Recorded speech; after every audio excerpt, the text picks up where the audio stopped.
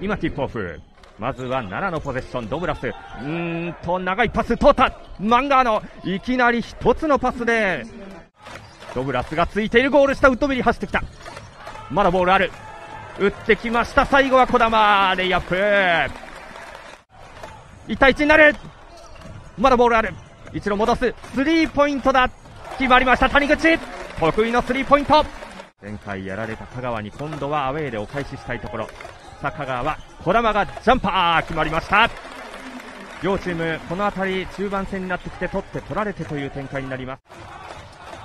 ウッドベリーが中へ、中へ、そして外へ振った。スリーポイント、また来ました、谷口連発。中からのシュートは惜しい。ウッドベリーのリバウンド。一本のパスが通ってシュートも決まった上田。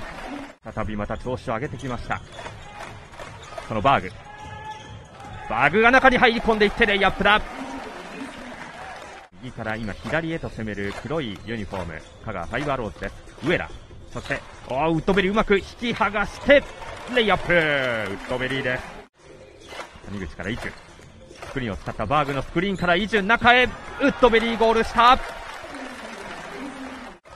ウッドベリーがどうするか。ちょっと今、三森が触ったように見えましたが、ウッドベリーそのまま打つ。ジャンパー決まりました。これは2ポイントです。います、香川です。そのイジュがゴール下まで来た。ショットクロックなくなってきたが、最後はアンガス・ブラント。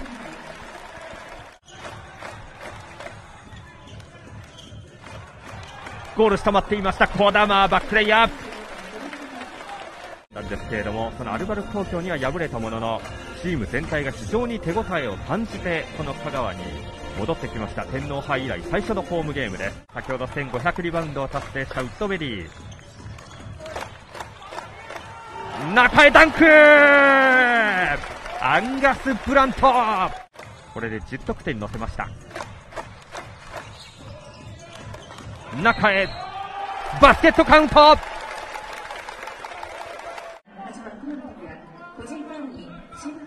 菰田のファールで個人ファール2つ目でチームファール3つ目になり香川もこの一つ一つのポゼッション大事にしたいところ。外へ振った。コーナー3は打たない。筑波が入っていってレイヤー筑波ここはよく見ていました。点差は5点。ウッドベリー。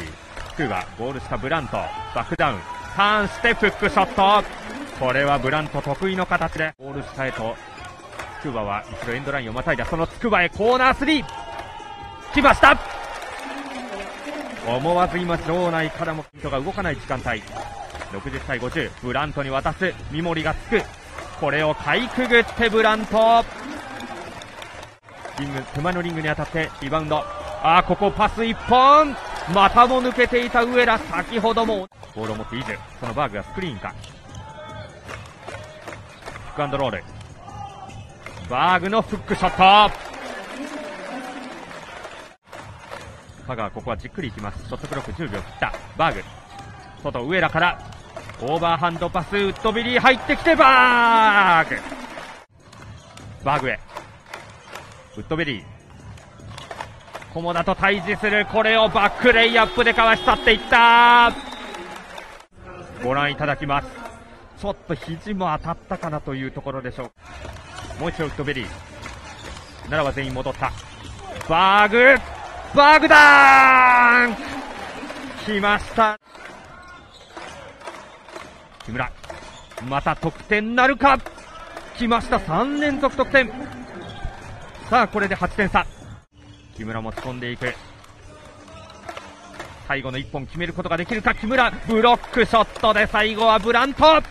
鮮やかなブロックショットを発揮したところでこのままボールキープ時計が進んで今第4クォーター終了。試合終了です。香川78対68見事に勝利を収め過去チーム最多タイの5連勝です。